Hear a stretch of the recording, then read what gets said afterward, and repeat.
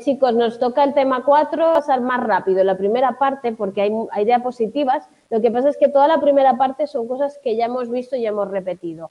Y nos vamos a centrar más en la segunda parte donde vamos a estudiar ya más profundamente el tema del apego, ¿vale? La primera, pues el primer vínculo afectivo que un niño establece con una persona que le cuida, con la persona cuidadora. Y entonces vamos a, ver cómo se descubrió el apego, qué, investigaciones ha habido sobre él, etcétera, etcétera. Por lo tanto, ya os digo que la primera parte, que es todo el mundo emocional, como lo hemos visto en todos los temas hasta ahora, lo pasamos un poco más para encima y ya nos vamos al apego. Recordad todo eso, es decir, que nosotros nacemos con una marcada condición social para poder relacionarnos con, con los seres que nos tienen que cuidar y por tanto somos socialmente competentes porque vamos a ser capaces de llamar la atención, de que nuestros mayores nos cuiden, de a, través del llanto hacer que nos mimen, qué tal, ¿vale? Y parece también eh, aquí el primer apego. El, apego es ese vínculo primigénito, es la primera relación, el primer vínculo emocional que se establece con alguien, ¿vale? De nuestra misma especie y que buscamos para garantizar nuestra eh, supervivencia. Por lo tanto, como niños que somos desvalidos, que no podemos cuidarnos, que no podemos hacer nada por nosotros mismos, tenemos que tener ese vínculo. Cuando ese vínculo parece que se establece bien, ¿vale? Está bien establecido, que nosotros, los, recién nacidos o cuando nacemos y tenemos ese vínculo, estamos como eh, eh, teniendo pues una evolución más positiva. Tenemos conductas adaptativas donde buscamos esa cercanía de la persona que nos ha cuidado o con la que hemos creado ese primer apego. Se habla de que nosotros lo que hacemos cada vez es crear una representación de esa relación vinculante. Volvemos a, vamos a ver, los seres humanos, hola, buenas tardes, pero lo has conseguido. Nosotros vamos creando representaciones del mundo y también creamos ese modelo interno de trabajo que es una representación sobre el mundo afectivo, sobre las relaciones con los demás, ¿vale? Y esa primera representación, ese modelo eh, interno va a partir de primer apego, de primeras relaciones y tal. Y hay estudios hoy en día que vinculan esas primeras experiencias con eh, las relaciones que luego mantenemos de adultos con las personas que nos relacionan. Dime o eh, tipo de relación o la manera de ser? Físicamente tendrás que, que aclararme un poquito. Muchas veces los dice que eh, dan eh, como chiste que buscas a alguien que te parezca a tu madre luego dices, uy, no lo Vale, no te entendería. Vale. No, no, se, no se interpreta por ese lado, se interpreta por la frialdad o la cercanía. Se, dice que si tú has tenido una, un, apego inseguro, ¿vale? Que luego veremos los tipos que hay y tal, pues tú has, pensado que la gente no va a estar disponible para ti, no te va a responder y por tanto tienes un carácter más frío y más distante con las personas de tu alrededor, que sería tu modelo para relacionarte después con los años, ¿vale? Pero tiene que ver con que tú elijas a un tipo o a otro.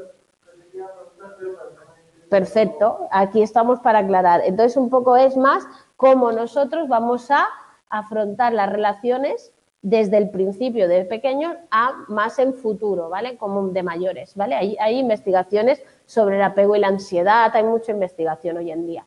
Vale, ese primer vínculo es fundamental para el desarrollo psicológico, ya que según se establezca o no de una manera o no, va a crear pues que la persona, pues que el niño se desarrolle más o menos, recordar la autoestima, recordar el autoconcepto, recordar todas esas cosas que nosotros vamos desarrollando así como nos vamos haciendo mayor y que también veremos en su momento, ¿vale? Y que vienen muy dados por la relación que mantenemos con los demás, porque al final los seres humanos, por mucho que nos guste pensar que no nos importa lo que piensen los demás de nosotros, siempre tenemos pues esa interacción y esa necesidad de aceptación, de, identificarnos con la gente y de tal, y por tanto, pues eso parte un poco de ese primer vínculo, esa primera relación que hayamos podido establecer cuando éramos pequeños. Vale, a partir de aquí volvemos a somos sociables y tenemos pues unos estímulos que nos llaman más la atención que otras.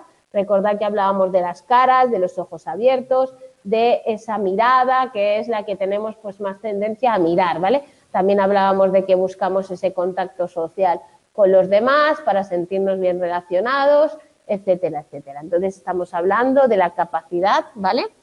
De sincronizar emocionalmente con los demás, que si nos reían, nosotros sonreíamos, que si lloran, pues como tal, que si vemos a alguien serio así, nos como escondemos porque, porque nos vemos que está enfadado, interpretamos ese, esa ira, ese, ese rechazo, ¿vale?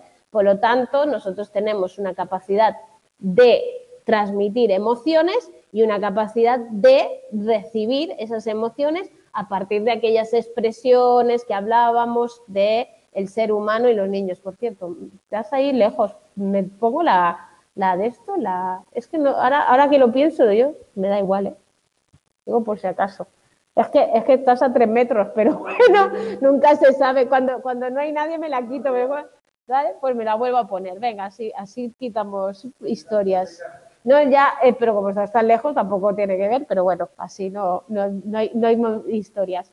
Vale, entonces nosotros sí que buscamos eh, intencionalmente esa relación con los demás y tenemos la capacidad de hacerlo, como decía Darwin, pues en aquel libro de la expresión de los animales y los y los niños pues tenemos pues movimientos para dirigirnos a los demás, tenemos pues formas de, de, de, comunicarnos con ritmos, con formas de modular, entendemos los tonos de los demás, ¿vale? Y por tanto nosotros tenemos un sistema emocional complejo, sutil, complejo y eficiente, ¿vale? Para relacionarnos con los demás y, despertarles la simpatía y yo diría también despertarles ese, ese, sentimiento de cuidarnos, de abrazarnos, de tal, ¿vale? Que si lo pensamos a nivel biológico es muy importante porque nos salva la vida, porque al final es eso, ¿no? Entonces, al final necesitamos pues esos entornos que nos den experiencia, necesitamos relacionarnos con el mundo, relacionamos que nos enseñen cosas, que nos hagan ruiditos, que nos den de comer, qué tal, ¿vale? Para que nosotros podamos pues ir madurando, ir creciendo, ir creando pues todos aquellos esquemas de los que hablábamos, ¿no? Que nos pongan objetos delante para crear esos esquemas de coordinación de los que hablábamos en la otra lectura, etcétera, etcétera. Por lo tanto, al final es una interacción bidireccional yo necesito a los adultos, los adultos me necesitan, me cuidan a mí, pero nosotros somos capaces de aportar pues una reacción y una respuesta. Aquí está lo de Darwin, que hablaba de esas emociones o esa expresión emocional universal, básica, instintiva, de la ira, la alegría, el miedo, el enfado, la sorpresa, ¿vale? Que nos lleva a tener esos vínculos biológicos, también la capacidad de comunicar a, a través de nuestras expresiones faciales, del llanto, ¿vale? De diferentes sistemas de señales que nos permiten pues, hacernos ver o oír, ¿vale? Y también pues todas esas eh, similitudes expresivas que hablábamos ya con Ekman, vimos el libro del rostro de las emociones, donde incluso en, sujetos de Nueva Guinea se vio que la expresión de tristeza, la expresión de ira, tal, coincidía a pesar de que pues, son culturas o sociedades totalmente diferentes, en diferente nivel de avance, etcétera, etcétera. Y por tanto, apoyan toda esa propuesta de Darwin.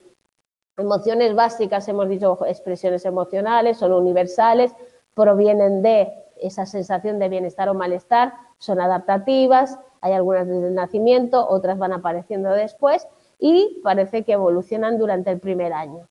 ¿Vale? Hemos visto la sensación de bienestar, hemos visto esas primeras sonrisas que, son, que no tienen ningún significado, que son más fisiológicas. Luego ya hemos visto cuando el niño ya empieza a sonreír a los adultos, hemos hablado de cómo se afianza esa sonrisa y cómo después de un tiempo sí que va a ser una, una visión o una forma de transmitir su bienestar. Hemos hablado de que busca las caras familiares, hemos hablado del final del segundo mes donde ya empieza esa sonrisa social, donde cuando a los seis meses ya se ríe de los juegos de la madre, de que me enseñen y no me enseñen, de que me hagan cosas, ¿vale? Y luego, pues como ya son capaces de reír a carcajadas y usar todo ese elemento emocional, alegría, para pues, relacionarse con los demás. También hemos hablado del malestar, de la cara del, del ceño fruncido, este mal enfado, pues a partir de los cuatro meses ya empieza a hacer ese llanto enfadado, de incómodo, de que no estoy de acuerdo, a partir de los cuatro o seis meses llora con más frecuencia cuando no quiere o no puede moverse de algo, librarse de algo, tal, y a los siete, ocho ya es el enfado, es cuando ya empezamos a tener esa maduración cerebral y por tanto ya nos enfadamos, ¿no? Nos enfadamos porque no puedo coger algo, nos enfadamos porque no veo algo, nos enfadamos. El miedo, recuerda que es la más básica de las emociones y que parece que llega desde el, viene con nosotros, ¿vale? Porque es un eh, porque es una em, emoción básica que puede apreciarse a partir de los siete meses, pero los niños lloran ruidos, cosas, ¿vale? Y parece que es muy importante justamente para buscar esas, esa protección, ese tal, ¿vale? El susto.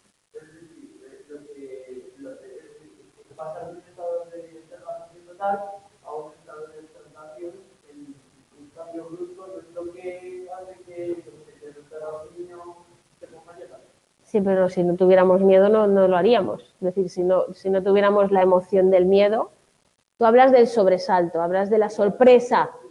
Vale, lo que se dice de la sorpresa es que es una emoción básica que es más orientativa, ¿vale? Es decir, la sorpresa lo que hace es hacernos prestar atención, pero no, no se le da un, un, talante ni positivo ni negativo, se, se habla de neutra. Entonces, lo que te da miedo es la cosa, lo que tú ves y el sobresalto que te causa es por el miedo que te des. Si no me da miedo, no me...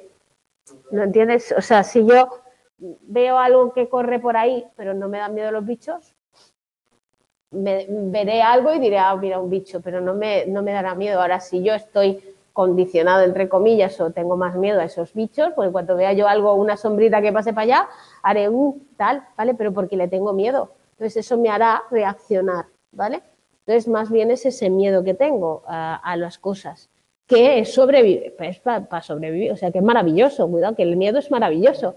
Si no se tiene un miedo irracional, que ya estaríamos hablando en nuestro campo de fobias, perfecto, ¿vale? Y por tanto ahí ya sería un problema, pero en este caso no, ¿vale? Vale, entonces, todas esas emociones van a tener un papel muy importante en nuestro desarrollo, ¿vale? Pero todo esto, como ya lo hemos visto, vuelvo a decir, lo paso un poquito más rápido y si no, no me da tiempo del otro. Si me deja el aparato, ¿eh? Cuidado, que ahora ya se ha, puesto vago. Vale, entonces, cómo reconocemos esas emociones también lo hemos hablado, de cómo ya se ven las alegrías, las tristezas y de cómo los niños con la cara, los gestos, ya nos pueden transmitir pues todas esas emociones. A las 10 semanas ya pueden hablar, de, ya pueden responder a una expresión emocional, a los cuatro meses ya pueden tener expresiones como el cucutrastra, ya pueden responder a estas cosas, ¿vale? Y por tanto, estamos hablando de la capacidad. Vamos con lo que nos interesa, que es la parte nueva del tema, ¿vale? Entonces, nos interesa mucho el tema del apego como un vínculo emocional y afectivo que establecemos con figuras de nuestro entorno, generalmente con lo que se conoce el cuidador como cuidador principal, ¿vale? Entonces, cómo se empezó a estudiar esa relación entre madre e hijo y cómo eh, influye en ese desarrollo en la salud mental, emocional de las personas, ¿vale? Hasta la primera mitad del siglo XX, como sabéis, estábamos en un modelo conductista y por tanto al final estaba hablando de que como la madre le da cosas positivas, refuerza al niño, pues se unen, ¿vale? Y se asocia la madre con cosas buenas y por tanto se produce una asociación. El psicoanálisis habla de ese lazo afectivo entre la madre y el hijo y habla de que hay una oralidad, recordad que ellos tienen una fase inicial del desarrollo según su modelo que es la fase oral, donde a través de ese amamantamiento, pues el niño establece una relación de dependencia con la madre, porque el amamantamiento, además de ser el proceso por el cual el niño se alimenta, es una manera de crear un vínculo ¿vale? Y un, tipo de eh, relación de algún tipo sexual, ¿no? Porque el desarrollo de, recordad que para los, para los psicoanalistas es psicosexual, ¿vale? Spitz, que era también un psicoanalista, estudió un poco todo el tema de los, creo que no estoy equivocada, me parece, estudió todo el tema de los eh, niños que estaban institucionalizados en centros de acogida, en, centros de estos, ¿vale? Entonces él describió lo que se, ha dado en llamar la depresión anaclítica, ¿vale? Él lo que decía era que cuando un niño que estaba vinculado, ¿vale? A una, a una persona, ¿vale? Y perdía a esa persona, empezaba a mostrar pues una especie de tristeza, de depresión, ¿vale? Que, eh, que, hacía que cambiara pues, la forma de actuar, que se retrayera, etcétera, ¿vale? Entonces hablaba de esos niños criados en instituciones que tenían falta de cuidado y de afecto y decía que estos niños aparecían muchas veces, bueno, que estaban inexpresivos, pasivos, que era como que les faltaba algo, ¿vale? Que les hiciera pues tener ganas de vivir, de explorar, de tal, ¿vale? Y eso tiene que ver con el apego, porque si recordáis, siempre recordad que el apego seguro, además de suponer que hay una sensación de cuidado, también hay una eh, libertad para explorar. Es decir, es un equilibrio entre lo que me das de calor, de tal y cual, y que yo tenga eh, pues esa seguridad para explorar. Los niños tienen que explorar. En un apego inseguro, un niño no se aleja de la madre, mientras que en un apego seguro, un niño se aleja. La gente confunde apego con estar pegado y no tiene nada que ver. Apego es una relación de seguridad que yo sé que mi madre va a estar ahí, me va a cuidar y me da tal, y yo me puedo ir por el mundo a explorar. Evidentemente, según la edad que tenga, voy a estar vigilando dónde está mi madre. Esto a partir de los dos años empieza, ¿vale? Entonces, a partir de ahí se empieza a fomentar. Claro, el tema es que a veces se confunde que un niño quiera estar mucho con su madre con que, tenga una, con que esté apegado, ¿vale? Pero el niño, aparte de cuando llora y tal, que tiene que recurrir a la madre para tal, el niño tiene que explorar y tiene que seguir viviendo y tiene que hacerse mayor y por tanto un apego seguro nos da esa capacidad para no ser dependientes. ¿Vale? Entonces, no, eso depende de la relación de vínculo que se establece entre el niño y la madre.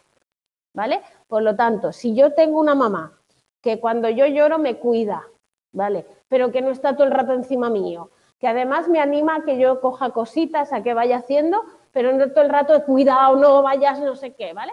pues esa mamá me va a crear un apego seguro porque yo sé que va a estar ahí, que me quiere, que me va a dar afecto, y pero también que me va a dejar un poco que yo vaya creciendo.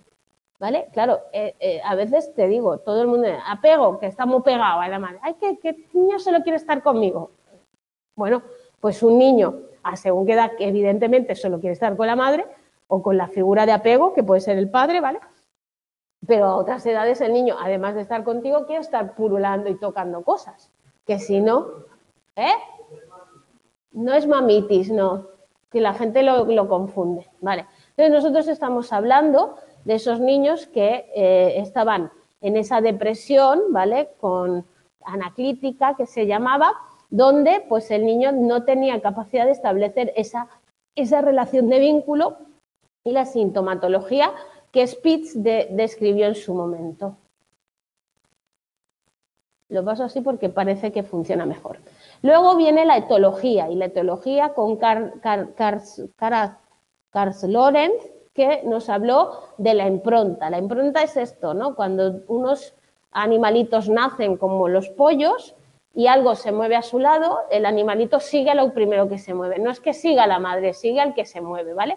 Entonces, ellos vienen con esa capacidad, esa impronta, que es ser capaz de seguir aquello que en primer lugar se muere, ¿vale? Y eso lo tienen porque va a ser positivo para su supervivencia. Entonces, Carlo dijo, y si nosotros también lo tendríamos, ¿no? Esto estudió eso. Entonces, él hablaba de ese troquelado como un periodo crítico. Un periodo eh, es algo que se tiene que aprender durante un periodo concreto y que si no se aprende, luego va a haber dificultades para aprenderlo, ¿vale? Entonces, durante los primeros, eh, los cuales darse determinados acontecimientos medioambientales para que ocurra ni siquiera el castigo materno inhibe o disuade a que los niños, a que los polluelos puedan seguir, pero pasado ese periodo crítico, esa conducta ya no se puede desarrollar, se dejaría de desarrollar. Entonces, él planteó a ver si nosotros también tendríamos ese periodo clínico. No tenéis la conducta de filiación. No sé si habéis visto los estudios de, Harlow, ¿vale? Pero Harlow lo que hizo fue poner unos monitos. Esto si lo buscáis en internet están en YouTube están colgados los experimentos de Harlow en los vídeos. ¿vale? Entonces, este señor lo que hizo fue investigar cómo, eh, qué pasaba si a estos monitos les deprivabas, les quitabas ese, esa, esas, eh, a esa madre, a esa cuidadora, ¿vale? Entonces ellos lo que vieron era que hicieron un experimento, ponían dos, dos muñecos, ¿vale? En uno, este, que era solo de alambre, tenía un biberón y el otro, que era de felpita, no tenía comida. Entonces lo que él quería demostrar era a ver si el mono pasaba más tiempo con la, con la mamá fría pero con un biberón o con la mamá calentita pero sin biberón, ¿vale? Entonces lo que ellos descubrieron es que el mono, a pesar de que iba a comer aquí, pasaba mucho más tiempo con la mamá que le daba calor, que le daba cariño, que es la de felpa.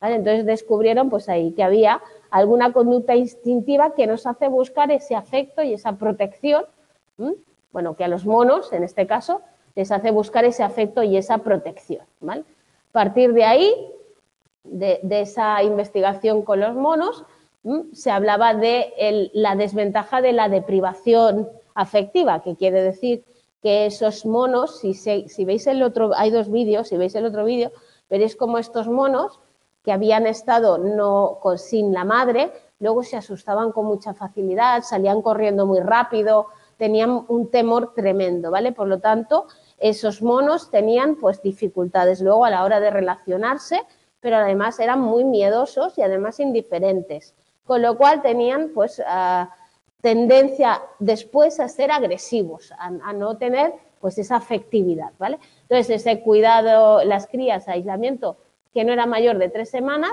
resultaba que eran capaces de retomar esa relación social, de volver a tener pues una relación afectiva con los, con los monos adultos de correcta, ¿vale? por tanto, explicaba un poco esa necesidad de tener esa relación y además la capacidad de incorporarla de nuevo, de mantenerla después.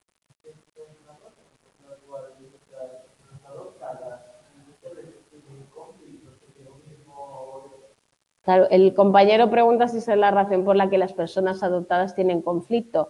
Sí, hasta el límite de poner en conflicto, de provocar el conflicto para ver si realmente les quieres o no les quieres. Es decir, es como una prueba, no sé si está en este tema o está en otro, ¿eh? ahora, ahora estoy un poco perdida, pero no sé si aquí también lo cuenta eso. Pero las personas, los niños adoptivos muchas veces tienen una primera fase que puede ser más o menos larga, en la cual intentan probarte a ver si tú realmente los vas a abandonar. Es como un poco ponerte al límite para ver si realmente vas a ser también un padre sustituto. ¿eh? Sí, puede ser, pero normalmente tienen ese conducto, está en este tema, perfecto, ¿ves? Menos mal que tengo a mis apuntadores, que hay, que hay un momento en el cual, eh, ¿vale? Miedo a ser abandonado, por supuesto, ¿vale? Pero también ese provocar para ver si realmente te vas a quedar o no te vas a quedar. Y entonces llevan al límite muchas veces. De hecho, normalmente en, los adoptados hay algún cierto, hay comportamientos disruptivos. Luego hay algunos que son unos bombones, ¿eh? que no pasa nada, pero sí que provocan un poquito. Es como que a mí ya me han abandonado, a ver tú qué haces, hasta dónde me aguantas, ¿sabes? Un poco está como esta... Sí, como una prueba de, de, real estás ahí o eres más un que viene y me hace tal. Además, fijaos que, por supuesto, si, al, si a mí me ha abandonado mi madre o mi padre o tal, pues tengo que tener desconfianza con las personas que me dicen que me van a cuidar, porque claro, es que mis padres no me cuidan, si es que ahí hay un poco también, un poco de, claro, de, distorsión total, porque es que, es que un principio fundamental que tenemos todos es que los padres cuidan a los hijos. Y eso lo repetimos. Ah, papá, mamá que nos quieren, ah, papá, mamá que nos quieren, tal. Y luego llega y va un papá y una mamá y me hacen daño. Es un quiebro psicológico eh, bastante conflictivo, ¿vale? Para cualquier persona y para un niño que, es desvalido más. ¿Sabes? Entonces ahí se produce. Entonces, el señor uh, Harlow también estudió y empezó a estudiar el tema de la hospitalización. Entonces empezaron a estudiar cómo, qué pasaba con esos niños que estaban encerrados también mucho tiempo, hospitalizados y que eh, vivían alejados de su padre, pero que sí habían tenido pues un, vínculo, ¿vale? Entonces hablaba de tres fases. La fase de protesta, donde los primeros días de la separación el niño buscaba a la, madre y la llamaba y tal. La fase de desesperanza, que era las, tras unos días el niño dejaba de llorar, se muestra resignado. Y la, fase que llamó desapego, que es cuando el niño parece que, vale, yo sigo viviendo, hago mis cosas, ¿eh? y no tengo, ya no me acuerdo de mi madre, pero ahí se producen algunas interacciones superficiales, frecuentes y desajustadas. Es decir, el niño pierde la capacidad en esa tercera fase de tener unas relaciones que consideraríamos eh, útiles o normales o como queráis llamarlas, ¿vale? Entonces, a partir de ahí empezamos a hablar del concepto de apego. El concepto de apego eh, habla de ese vínculo afectivo. Al principio en todas las teorías hablaba de la madre, tenéis que entenderlo. Ahora ya habla de la persona cuidadora o el cuidador principal o tal, ¿vale? Entonces ese vínculo es conductas que buscan mantener un contacto con la persona que nos quiere, con la persona a la que estamos vinculados, ¿vale? Y también eh, el, dar paso, ¿vale? A eh, conductas prototípicas del apego como la búsqueda de esa proximidad con la madre y tal. Y entre los 9 y los 18 meses el bebé incorpora sistemas de acción dirigidos a mantener esa proximidad. Entonces estamos haciendo conductas de proximidad con la madre, ¿vale? Que después reconocimiento de sistemas de actuación para que nos eh, ayuden o nos cuiden porque es lo que buscamos. Entonces, a pesar de la predisposición del niño a buscar eh, la ayuda del adulto, ¿vale? Y de este a protegerle, el punto de apego, es, una, es un proceso, una construcción fruto de repetidas interacciones entre el niño y su cuidador, que quiere decir que va aprendiendo y se va construyendo, que no viene dado, que no significa que los dos, por ser madre e hijo, o niño o bebé y adulto, ya vamos a tener cómo se hace, sino que parece que se va dando y se va formando a través de unas fases que Blowley nos describe como cuatro fases. Esas fases van desde la primera, que es que hay una orientación y señales sin discriminación, es decir, el niño cuando es, eh, cuando es recién nacido tiene muestras de, oír, de responder a lo que sea, ¿vale? No tiene un ajuste, no busca a una persona próxima, él se relaciona con todo el mundo, ¿vale? Y no tiene esa capacidad.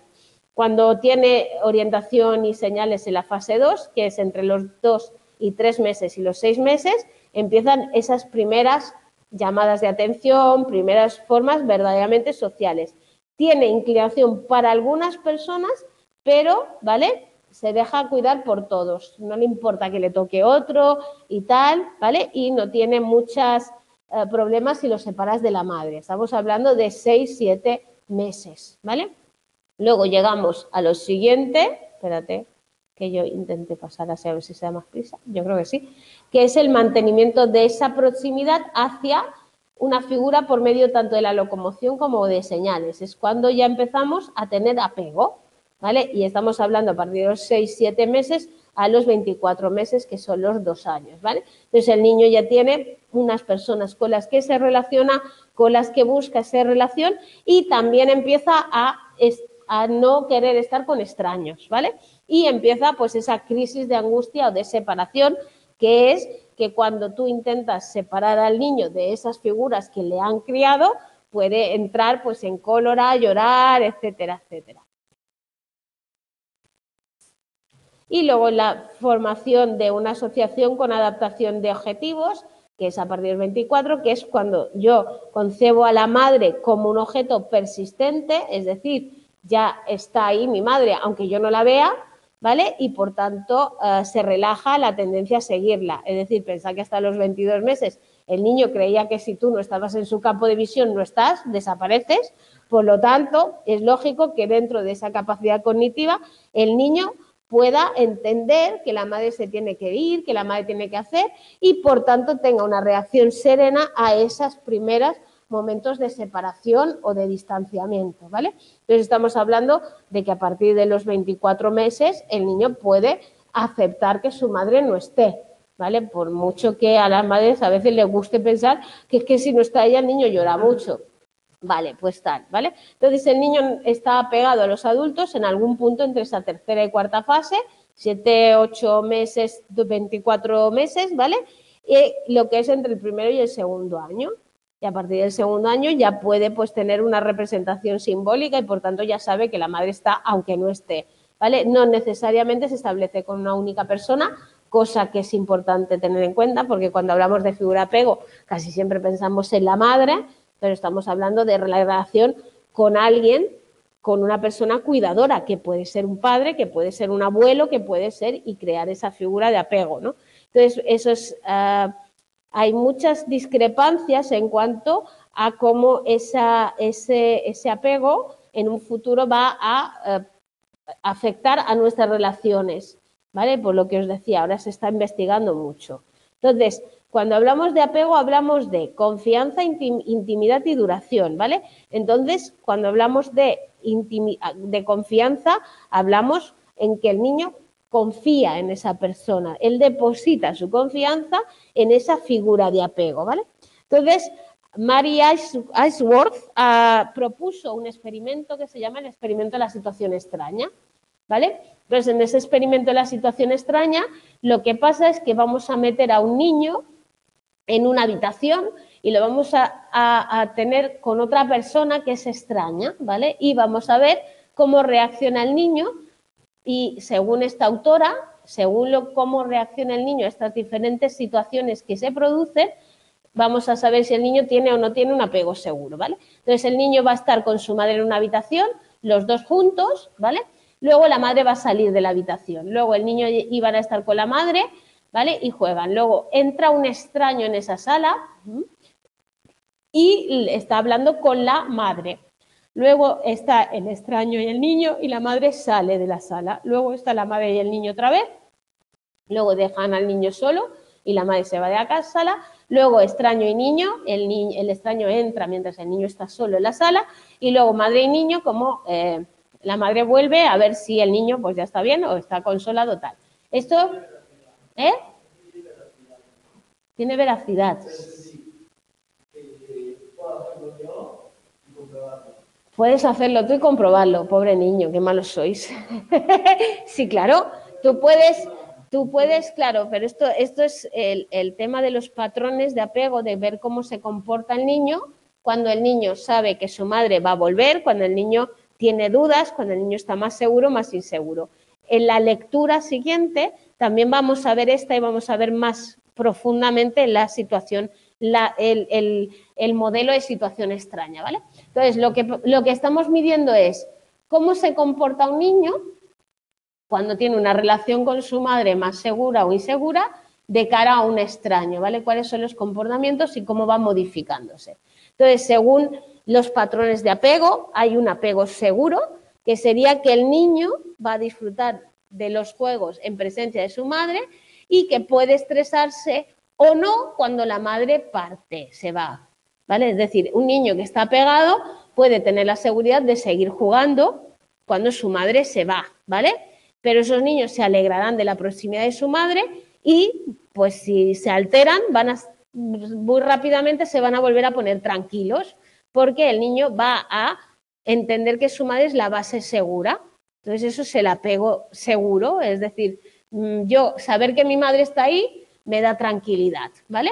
Ese, apego es una construcción dialéctica, ¿vale? En los cuales van a influir la madre, el niño y el entorno, ¿vale? No solo depende de la madre, no solo depende del niño, sino que es una interacción, pero como todo en educación y como todo en desarrollo y como todo en lo social no solo depende de mí, depende de mí y de con quién me relaciona y de los demás y del contexto en el cual. Por lo tanto, hay que entender que un apego es seguro cuando hay una historia afectiva, ¿vale? En la cual el cuidador está accesible y disponible a las necesidades del niño y de manera consistente, es decir, que responde a esas necesidades siempre que el niño las necesita, ¿vale? Si luego eh, no está ahí o no responde, pues tal. Entonces, crearíamos el apego inseguro.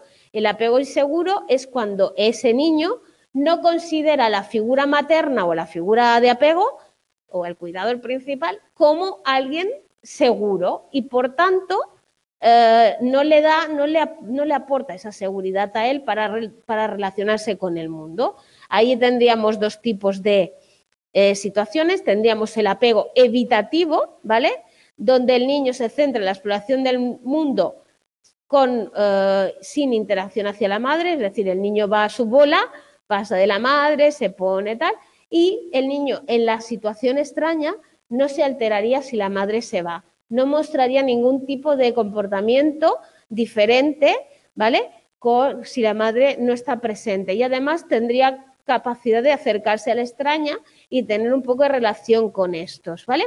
Sí que tendría estrés cuando se quedara solo, pero no tanto, porque en ese momento el, niño con apego inseguro evitativo ya eh, tiene esa falta de disponibilidad de la madre o del, de la figura y por tanto no la considera una vez segura y no le va a echar en falta porque no, no considera que le pueda hacer o afectar nada el hecho de que esa persona no está. Luego está el apego resistente o ambivalente. Eso es cuando el niño no tiene seguridad de la madre, pero aún así le crea mucha ansiedad que la madre no esté, ¿vale? Entonces tendrá ansiedad si está, ansiedad si no está, porque el niño al final está ambivalente entre estoy con mi madre, no estoy, me fío de ella, no me fío, ¿vale? Es un poco esa situación en la cual, pues no sé si decirte que me va a cuidar o que no me va a cuidar o no sé muy bien, ¿vale? Y por tanto tendría unas relaciones inconsistentes, ¿vale? Con la madre que la madre ha fomentado, evidentemente. Estos son madres que no están todo el tiempo que deberían estar cuidando al bebé, no, le muestran esa relación o son incluso demasiado protectoras.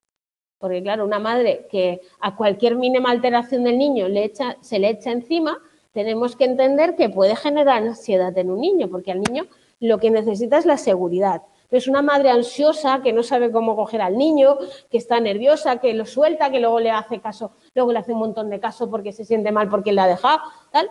Entonces, eso es ambivalente, eso el niño es como, buf, me vuelves loco, ¿vale? Y entonces eso no da seguridad, porque parece que la madre está, pero luego no está, y entonces el niño puede tener pues ese, ese, ese ambivalencia. Luego está Main y Salomon que hablaron de otro, otro tipo de apego. Para ellos lo llaman desorganizado, desorientado, ¿vale? Que es muy difícil de describir y según ellos hay un comportamiento inestable y contradictorio y no parece hablar o existir lógica en esa forma de actuar de la madre hacia el niño, ¿vale? Estamos hablando de maltrato, estamos hablando de ese ya extremo en el cual el niño tiene terror, ¿vale? Porque hay pues reacciones de un niño imprevisibles, del adulto imprevisibles y atemorizantes, ¿vale? Es decir, padres que gritan, que te ponen tal, de cual. Y entonces, eh, en ese punto estamos hablando de un niño que busca a ese padre, ¿vale? Pero el padre, pues, o la madre, porque no tiene por qué ser el padre, ¿vale? Que le genera, pues, esa inseguridad por no por inseguridad de que no va a estar, sino porque me va a hacer daño, o sea, como agresivo, ¿vale? Entonces ahí tenéis el, tema de la metaanálisis y cómo se ha estudiado. Se ha hablado del desarrollo social infantil y el apego seguro. Se habla de que los apegos inseguros se asocian con mayor riesgo de desajuste psicológico, ¿vale? Y con más sintomatología externalizada, es decir, problemas de agresividad, problemas de comportamiento, problemas desafiante, problemas de esto y los apegos desorganizados se han relacionado con problemas de autorregulación emocional, que sería más tema de, tristezas, de ansiedad, de cosas tal, socioemocionales y cognitivos, ¿vale? Por lo tanto, ahí tenéis el tema de la prevalencia. ¿Qué pasa con el apego? Que generalmente es seguro. Es decir, si nosotros hiciéramos un estudio sobre la población del mundo, nos daría que un 65, un 70% de niños tienen un apego seguro, un 20 tal tiene un apego evitativo, otro resistente y un porcentaje pequeño, a pesar de lo escandaloso que sean los casos y tal, tienen un, apego desorganizado, ¿vale? O sea, en realidad el apego en sí suele ser seguro y es raro que se dé un apego inseguro en una familia mínimamente eh, normalizada, ¿vale? Ahora, claro, habrá casos de ese tipo. También se ha estudiado si tiene algo que ver el tema cultural y parece que las sociedades tradicionales donde se está más tiempo con los bebés, donde se les cuida y tal, se genera un apego más seguro que las, estas eh, sociedades en las cuales se hacen niños más competitivos, que siempre estén, que ya enseguida sean independientes, que tal, ¿vale? Y entonces parece que eso también puede influir a nivel de macrosistema dentro de cómo el niño se va a desarrollar y cómo se establece la relación de apego con los adultos, ¿vale? Y luego también tenemos siempre intentar entender, y a pesar de que yo en eso soy también muy bruta, digo, es que los padres hacen, es que los padres, bueno, pero el niño también tiene su carácter, ¿vale? Su personalidad, su, su forma de actuar y por tanto también influye en esa relación que se establece con los padres, ¿no? Entonces, si tú tienes un niño, como yo les digo, los niños capullos, estos que parece que te están provocando y tal, pues al final, pues también hay que entender que el niño si es muy apático, pues va a hacer que la madre lo deje más. Si es un niño muy movido y tal, pues va a tener más a la madre encima, pero la va a, crear más nervios, etcétera. Por lo tanto, hay que tener en cuenta que ese niño también, pone en marcha mecanismos que luego los padres no todos eh, podemos controlarlo todo. O sea, esto lo tenemos que tener claro, ¿vale? Entonces, Bowley hablaba de esas variables biológicas y temperamentales que los niños y las madres aportan a esa relación de, crianza y por tanto que también influyen, además de los valores ¿no? culturales, de cómo es el modelo y de los valores eh, eh, aprendidos un poco, ¿no? Como yo he tenido a mis padres o como yo he tenido a mis hijos o como tal, ¿vale? Y en esa relación de mi madre me hacía esto, pues yo también puedo tener modelos, ¿vale? De formas de actuar o de tal. Ahí tenéis como Marrone habla de un patrón de conducta que tiene patrones definidos en la interacción diaria de madre-hijo. e Hay una respuesta sensible de la madre durante el primer año, ¿vale? Lo cual va a ser un predictor de seguridad para que el niño crea un, apego correcto, seguro, ¿vale? Luego puede haber una actitud distante de conducta y rechazo por parte del cuidador, donde puede, haber un desto evitativo. Evidentemente, si yo rechazo al niño, el niño creará un apego evitativo. Y luego están esos ambivalentes en los cuales, pues de repente, o su madre o su padre o el cuidador o la figura de apego. Es que a mí decir siempre madre me sabe mal, pero el libro pone madre. madre. Entonces, el padre, por ejemplo, que esté vinculado con su hijo, pues de repente está o no está. Entonces, el niño, pues se genera, pues no sé si vas a estar o no vas a estar, ¿vale? Entonces, son las, eh, hablan de esos, eh, de las marcas de, por sensibilidad del adulto, donde pues hay mayor, mayor probabilidad de apego, que será un vínculo de apego seguro, cuando el niño es el, el, adulto es capaz de responder contingentemente, que quiere decir que cada vez que el niño dé una informa de, de, una señal, el padre o la madre van a responder y que tenga una sensibilidad a lo que el niño pueda estar haciendo y el niño cree esa sensibilidad a la figura de apego. ¿vale? Entonces, elementos de ese vínculo es un constructo, volvemos a decir, complejo y multidimensional que incluye la parte emocional. Quiere decir que los niños tienen que ir generando parte de confianza, ¿vale? Estima, eh, disponibilidad y tienen que tener ese, sentimiento de que esa figura de apego los protege ¿vale? Y les va a dar esa seguridad. Y eso es la parte emocional. Por lo tanto, un niño que está apegado a un, a una, a un familiar, a un cuidador, buscará, buscará a ese familiar, no querrá separarse de él, intentará tocarlo, mirarlo, que le esté, que le esté atento, ¿vale? Llamará su atención. Eh, el, el, uso de la figura de apego como apoyo desde el poder de explorar el mundo, que es lo que yo os decía, es decir, Tú estás aquí y yo voy mirando por allí y te voy vigilando que tú estás ahí, porque eres el que me da la fuerza por figura de apego para que yo me movilice, toque, hable con un niño, hable con otro. Como te pierda de vista, me, fundo, porque tú me das la, seguridad como figura, ¿vale? Por lo tanto, es además ese, por eso el, el apego no solo es estar juntos y buscar refugio y bienestar emocional en él. Cuando estoy llorando, cuando me han pegado, cuando estoy triste, ¿a quién voy a buscar? Pues el niño pequeño normalmente es, mami, está con otra persona y llama al papi, papi, y es ese el que me va a cuidar, ¿vale? Porque es el que he generado pues esa relación. Eh, también tiene un componente mental, hemos dicho que estamos creando continuamente modelos, ¿vale? modelos mentales de representaciones de lo que pasa. Por lo tanto, cuando yo empiezo a tener una primera relación social afectiva con alguien, voy creándome un modelo de relación, un modelo en el cual yo sabré si tú estás, eres mi apego seguro, si no estás, no sé qué si fiarme, ¿vale? Por tanto, también voy a generar expectativas sobre cómo tiene que ser una relación, voy a darle significado a esa realidad, voy a generar expectativas sobre el futuro. Cuando el modelo sea seguro, el niño creerá que es una persona amada y por tanto será, eh, sentirá, pues tendrá esa autoestima y tal.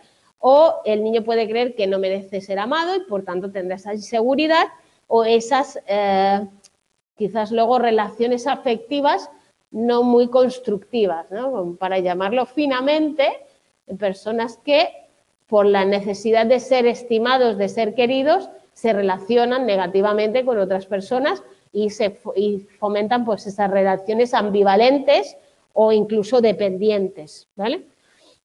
Entonces hay que asumir que hay unos modelos internos que son dinámicos, que pueden cambiar. Además, de hecho, las investigaciones con la gente adulta hablan de que hay una, cantidad una cantidad de personas que han tenido un apego inseguro, que tienen unas relaciones más frías y tal, pero que si tienen la fortuna de encontrarse o de, de relacionarse con gente cálida, con gente cercana y tal, que pueden modificar esos patrones de apego, ¿vale? Y crear incluso relaciones satisfactorias y seguras, ¿vale? O sea, no es algo que no se pueda cambiar. ¿Por qué? Porque esos, eh, yo voy a, tener un patrón en el cual yo me, me basaré para hacer una interpretación en el futuro pero también esa interpretación en el futuro, recordad que nosotros vamos siempre pensando que somos capaces de interaccionar, de cambiar de crear nuevos modelos, yo puedo cambiarlo, ¿vale? Por lo tanto, no hablemos de determinismo, no hablemos de que, bueno, como él tuvo un apego inseguro, ahora tiene problemas con las relaciones. No hablemos de eso, hablemos de que es verdad que ciertas personas, pues ahí tenéis a niños trabajados con experiencias familias como la adopción, ¿vale? Con frecuencia el modelo generado sobre el rechazo del otro, incluso sobre el abuso, se presente en el niño, ¿vale? Y en muchos casos, como ya hablábamos antes, desafía y pone el límite a la nueva familia a fin de ver si realmente esa relación va a ser más segura o va a ser igualmente una relación ambivalente en la cual él no va a tener seguridad ni se va a sentir apoyado, ¿vale? Y luego esa estabilidad del vínculo, hablamos de esas experiencias tempranas, ya lo hemos dicho, que hay pues que ese apego seguro es muy estable, que las poblaciones normales, la, la mayoría tenemos un apego eh, seguro, ¿vale? El apego tiende en mayor medida a la estabilidad que al apego inseguro, por lo tanto no es, no es algo que, sea muy lógico que haya apego inseguro, ¿vale? Normalmente no es tan, tan así. Y luego hay dos posturas de, en cuanto a esa, a, a esa influencia. Primer apego suscita un modelo interno capaz de condicionar los restantes en las situaciones, ¿vale? O el apego es considerado como un sistema flexible y adaptativo que va a permitir que, el niño se adapte a cualquier situación o sea más adaptativo, ¿vale? Entonces, ahí tenéis cómo explica que un 72% de los adultos parece que mantienen el estímulo de apego que construyeron en la infancia y un 28, ¿vale? Lo modifican en función de cambios significativos. Con lo cual, pensar que ese 72% puede ser gente con apego seguro e inseguro, ¿vale? Y que eh, pueden mantenerlos, teniendo en cuenta que la mayoría de la población tiene un apego seguro, ¿eh? no, nos vayamos a dramatizar y a crear que todos los niños están desapegados, ¿vale? Sino que normalmente en una sociedad como la nuestra, más tal, pues el apego está ahí. Y luego el modelo este de continuidad que habla de eso, de que las personas con apego inseguro niños con apego inseguro van a generar modelos agresivos, hostiles, ¿vale? Con los demás y los niños con apegos seguros pues van a buscar pues esa relación más de apoyo, más tal, lo cual va a hacer pues que ellos también tengan esa relación negativa. Si yo soy inseguro y tengo una relación contra, contra el mundo, me voy a dar cuenta que el mundo es malo, pero es porque yo voy contra el mundo también, ¿vale? Y si yo soy buena persona, estoy cercana, estoy doy seguridad, doy tal, pues esa relación será diferente y por tanto también confirmará mi hipótesis de partida, ¿vale? Entonces ahí tenéis un estudio, macroestudio, donde hablaban de que los niños con apego seguro pues son más empáticos, socialmente más competentes y, eh, y con más amigos que los que tienen apego inseguro, porque han generado pues esa seguridad, esa autoestima, esa capacidad de relacionarse con los demás, que es diferente a los que tienen apego inseguro, ¿vale?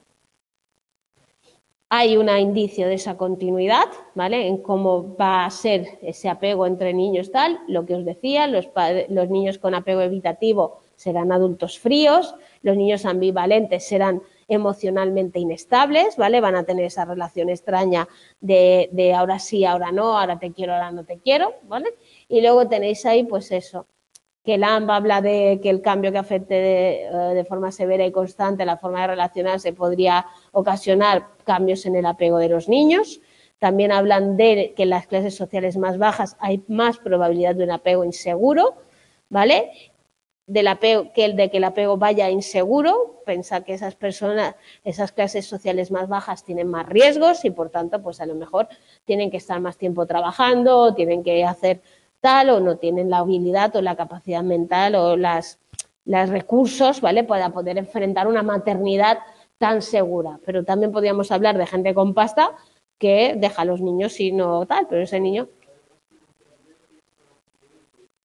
Son accidentes los niños, sí, son niños que nacen y que no tienen tal, pero no siempre. Pero muchas veces también yo he visto familias con pocos recursos con un cariño impresionante, ¿no? Sí, no generalicimos. En, en las familias con menos recursos, claro, nacen sí, nacen más niños que no son tan buscados, ¿no? Tan buscados y a lo mejor sí, buscados, porque deseado nunca se sabe. También puede haber un deseo, lo que pasa es que hay una, una incapacidad también, ¿eh? Por eso. Bueno, y que eso, que al final ese, ese apego no va a marcar para siempre la vida, sino que hay que entender que si nos toca en consulta una persona con, con ciertas dificultades, podemos generar y ayudarla a tener pues otra situación de ir cambiando pues, su forma de sentir la relación con los demás. Y eso es todo. ¿Vale? Entonces, repasad un poco el apego, ya si tenéis alguna duda. De todas formas, lo que vamos a hacer es como el próximo día, en, la lectura siguiente, viene el, vamos a ver la situación extraña, vamos a ver cómo se hace el experimento y tal, pues ya nos metemos un poco más y seguimos con el tema, ¿vale? Bueno, chicos, que paséis feliz semana, que descanséis y que estudiéis también, ¿eh? Ánimo, hasta luego, adiós. Gracias a todos.